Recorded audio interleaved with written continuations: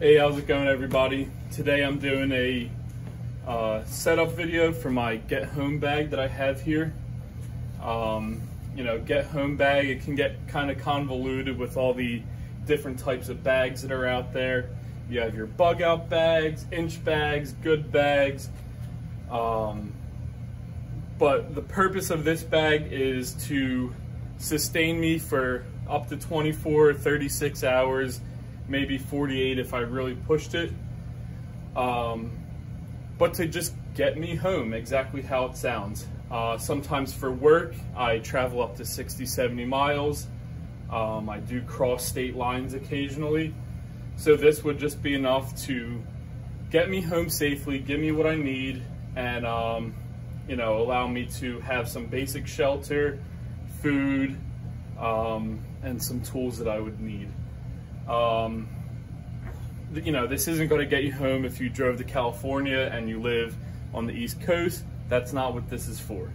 Uh, this is more short term, um, but it gets the job done for what I need.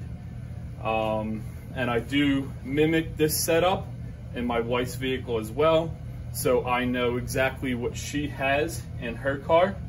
And, you know, if I'm driving her car, I know what I have.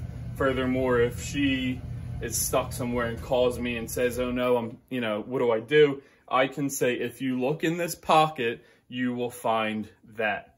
And so it kind of simplified things for us. Uh, obviously, you know, mine's set up for a man. Hers is curtailed to what a woman would need in an emergency, uh, but we don't need to get into that. So the, this bag is a 24-hour bag from lapolicegear.com.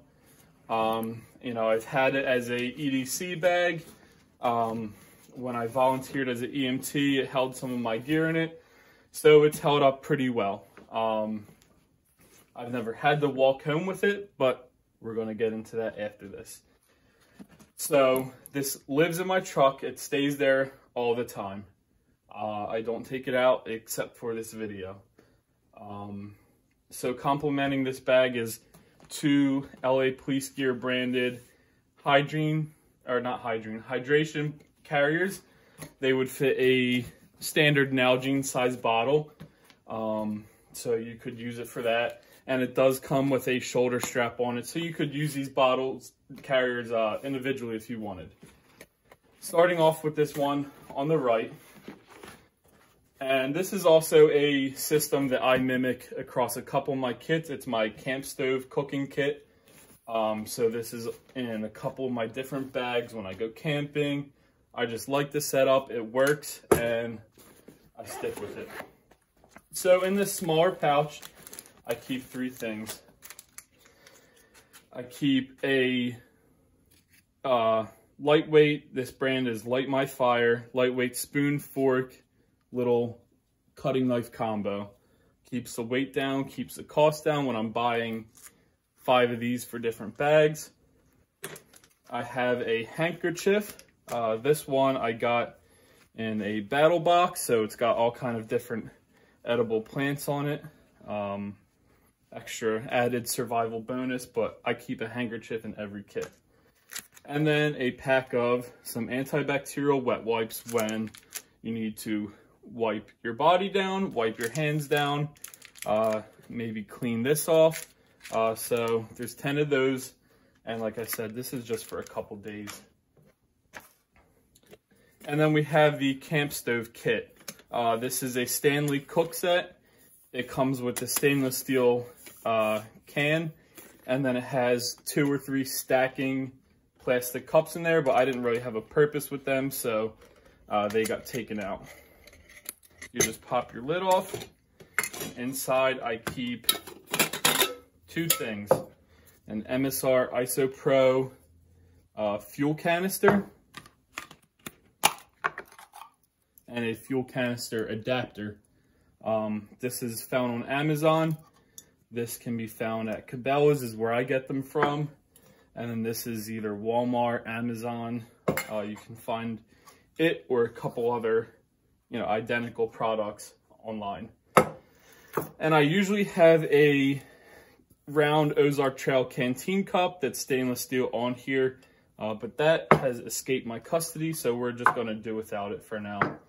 Um, but the idea behind this is this can screw right onto your camp stove or your fuel can. You pop out these legs that support it, and you can boil some water here to cook your food, um, to purify water, uh, whatever need you may have for it. And I like that, you know, this particular setup can all stack into itself. To do that, I put the cannon upside down, push it down a little bit, and then that lays in there. And then just close back up. In this other pouch, I keep a stainless steel uh, um, cup or bottle. Uh, it is single walled. The reason I use single walled is for, um, you know, you can't put a double walled like a Yeti. You wouldn't want to put one of them over a fire and boil water in it. Um, so this is just a cheap stainless steel single walled cup. Um, you could use, if it was cold out, you could collect snow in it and melt the snow to drink. Um, you know, has a dozen different uses and that just, it, it's a bottle. And then in here, I keep some iodine tablets and the, um, uh, that they, they remove the taste of the iodine. So these go together. This way, if I don't have the time to boil water, I can fill this up or fill up another water bottle, pop one of these out, and then follow the directions, and uh, you'll have some clean drinking water. All right, now moving on to this front pouch. I keep a heavy duty bushcraft knife. Uh, this was custom made for me. Uh, I have some leather loops in there so I could throw it on a belt as well. I could carry it horizontally or vertically. Um, so that just stays in here. LAPG brand flashlight. Uh, just a simple flashlight, but I also like that it has the uh, bezeled cap on it here and a pointier end because this doubles as a self-defense weapon. Um, maybe you don't want to resort to deadly force um, and this will just help you out. You know, you can hold it like that and someone doesn't expect anything other than a flashlight.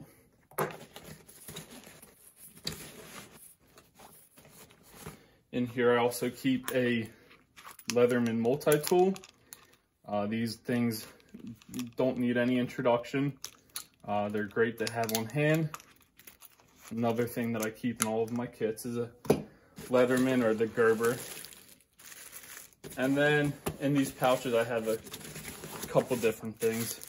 This is a uh, Mylar emergency blanket, uh, just to keep you warm if you needed it. Um, and then I also have a lighter with some Gorilla tape on there. Uh, this is a trick, you know, I might have 10 feet of tape on there and it doesn't take up any space other than the lighter.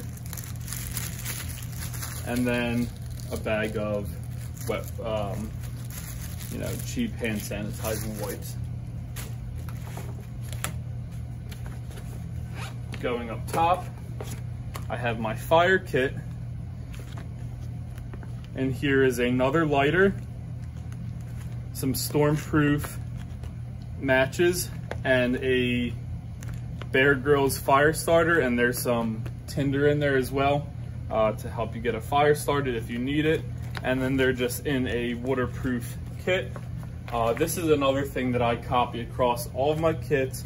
I like the setup, it works, so I just like to repeat.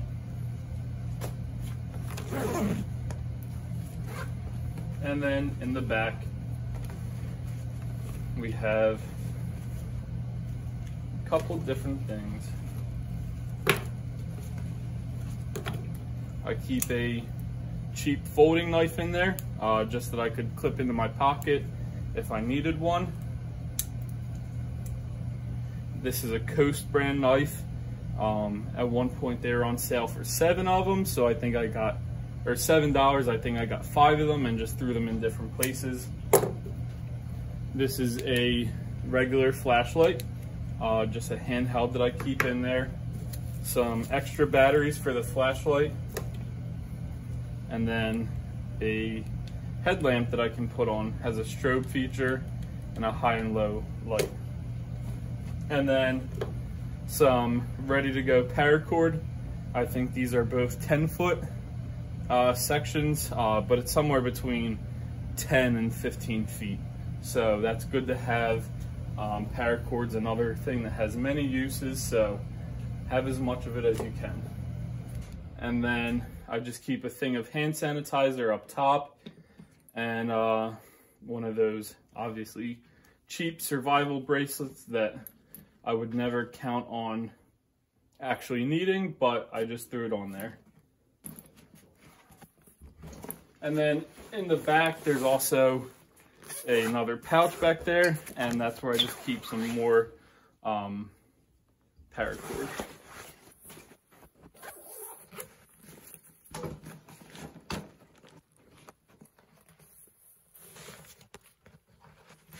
Figure out how to open this. All right, so on the inside, I have a poncho that I could throw on there. It's big enough that you can fit a backpack over it or under it. And um, also this could double as a shelter if you needed to set one up with your paracord. So this is one of those things that, um, you know, you use your gear or in this case, review your gear. Uh, pretty cold out where I'm at. Um, it's actually snowing right now. And you can see one of these bottles is turned into a little slushy. Um, so that's something that I myself need to consider. I can't rely on these bottles being okay to drink from or easily accessible right away. So that's why I have multiple methods of purifying and obtaining water. I have my bottle, my camp stove, my iodine, and lastly, my trusty LifeStraw. Uh, know, I have maybe 10 of these things in different places, in the cars, in the bags. Um, they're great. I've used them and they work well. And here I have my medical stuff. This is a LA Police Gear Pocket Trauma Kit. Um, so I have some compressed gauze in there, an Israeli bandage, and I also added a um, SWAT T tourniquet. I know that's not the greatest, but it's what I could fit in a compact uh, little kit. This is also a TK4 tourniquet. Um, it's not something that I've used before or that I've even heard much use of. Um, but I can tell you that worst case scenario, it can be used as a pretty strong bungee for something. Uh, so that's a double use item. And then I got some QuikClot clotting sponge in there. If you're bleeding, you could put that on there and then uh, put your compressed bandage over top. And then this is just a simple boo-boo kit. Uh, some Neosporin, Band-Aids, tweezers, uh, little gauze things, stuff like that. And I also keep some moleskin in here. Um, moleskin you can put in, you know, if you have a, to prevent blisters in the military, you know, you get that a lot when you're walking a lot. In this case, I could be walking home for quite some time, so some moleskin's a great thing to have. And then I also, I have a video on this, um, my first video. This is just an MRE that I put together. I labeled it, it was bagged. Um, so this actually needs to get replaced next year. I determined that it was bagged in December of 2020 and I determined that it was good until January uh, 2022. So you can watch the video to see the content of that. Um, but it's just some simple stuff that I could snack on. And then in a more long-term scenario, I could use my camp stove uh, to cook some of the other things that are in here. And then lastly, I just keep some extra bags and um, some extra snacks that I just, you know, wouldn't fit in here. So, you know, some beef jerky, Propel bars, almonds, and a Nature Valley.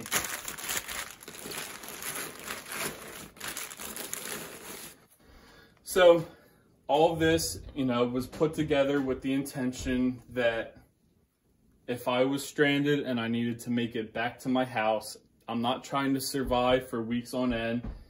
And that may be the case. You might have to do that. You might be away from home for that long.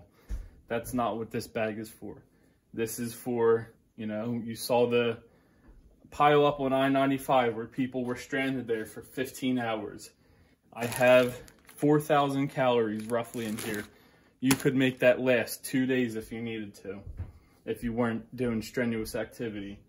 Or if you needed to get home, that's plenty of calories for you.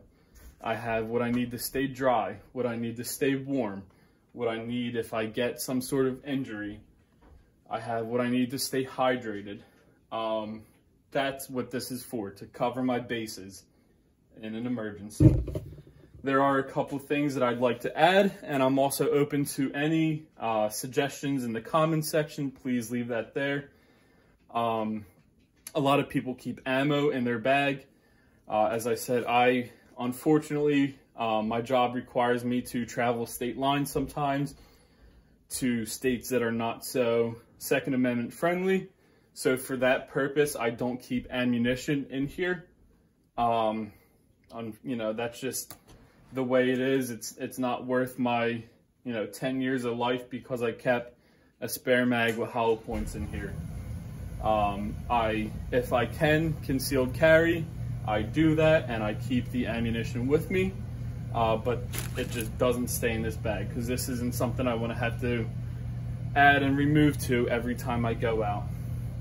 And the other thing that I would like to add is um, maybe some first strike rations or those uh, 1200 calorie survival bars. Not that they're the tastiest, but if you needed to just grab something, snack on it, and go, which I do have that covered in here, but, um, you know, it's just smaller stuff. It's nothing that would really sustain you for a while. Um, but this is my bag, and um, thank you for watching. So please like and subscribe. If you have any questions, I'd love to answer that. Please check out my video, um, Home Packed meal ready to eat. Uh, if you want to see more details about what's in this bag, uh, like, subscribe, please comment if you have questions, and have a great day. Stay safe.